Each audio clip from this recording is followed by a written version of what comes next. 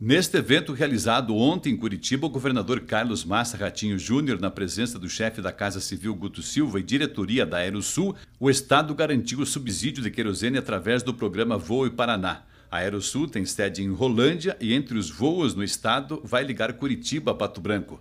Inicialmente serão três voos por semana, terça, quarta e na sexta-feira.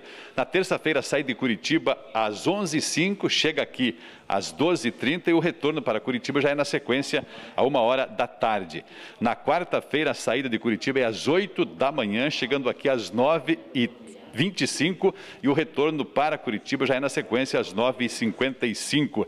Na sexta-feira sai de Pato Branco às 6h20 da manhã, chega em Curitiba às 7 o retorno a Pato Branco é às 12h40, chega aqui às 2 e já às 2h30 o voo retorna a Curitiba novamente. A compra das passagens já pode ser feita no site da empresa Aerosul